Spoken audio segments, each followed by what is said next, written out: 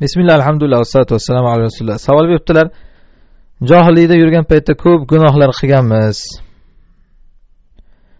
Hop, endi uylanmoqchi bo'lganimda qo'rqyapman. Chunki alloh taoloni oyati bor ekan.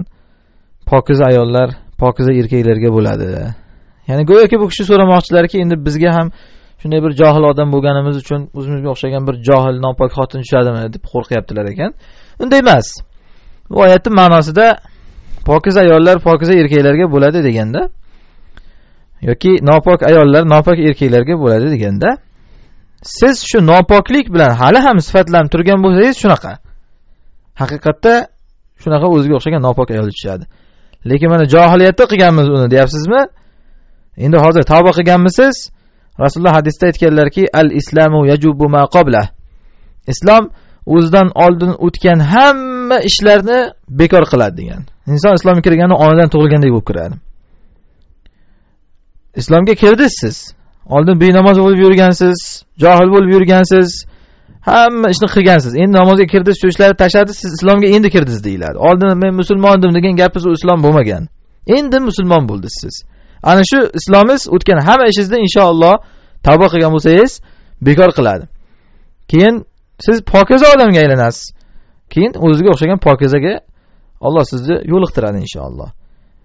Shuning uchun alloh taolo oyatda aytgan. Ha bu hali sizni shunaqangi johil ishlar. Kofir haqiqiy kofirlarga aytgan. Qul lillazina kafaru yughfar lahum ma qad salaf. Kofirlarga ayting agar shu joyda to'xtasalar o'tmishlari hammasi mag'firat qilinadi degan. Qarang islomni kengligini. Shu joyda to'xtasanglar bo'ldi deyapti. Hamma o'tgan ishlaring kechirib yuboriladi. Siz ham shu joyda to'xtaganmisiz inshaalloh? O'tgan ishlar hammasi kechirilingan. Balki alloh taolo oyatda aytganki hasanat. Shunaqa qilib islomga kirib islomi chiroyli bo'lib solih amallarni qilgan insonlarni o'tgan yomonliklarini kerak bo'lsa yaxshilikka aylantirib beramiz degan. Ollohni fazlidan bu cheksiz. Inson faqat tavba qilib bu yog'iga bardavom bo'lishi kerak.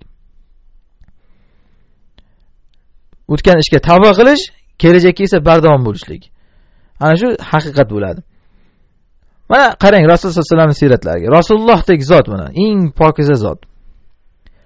Rasululloh sofiya onamizga uylanganlarini qarang. Sofiya onamiz yahudiya ayol bo'lgan. Yahudiy otasi ham yahudiy o'zi ham yahudiy bo'lgan. Rasululloh sollallohu alayhi vasallam yahudiylarga urush qilib borganlaridan keyin sofiya onamiz asirga cho'ri bo'lib kelib qolgan. Cho'ri. Islomga kirganlaridan keyin rasululloh sollallohu alayhi vasallam o'zlari u kishiga uylandilar va u kishini cho'rilikdan ozod qildilar. Qarang kechagina yahudiya bo'lib yurgan ayol bugun rasulullohdek zotga juft bo'lib qoldimi? Demak o'tmishi hammasi kechirib yuborilgan shuning uchun rasulullohdek zotga juft bo'lishga yaradi. Demak pokiza ayolga aylandi u kishi. Onalarimizdan pokiza ayolga aylanib butun pokiza zotga juft bo'ldi mana. Shuning uchun bunaqangi fikrlanmaydi. Allohni rahmatidan umidni uzilmaslik kerak. Inson lekin o'sha yutmishdagi ishlar bilan hali ham shunaqangi ishlarga o'ralashib yurgan bo'lsa to'g'ri. Ana unda shunaqangi nopok ayolga uchrab qolishi mumkin. Allohu alam.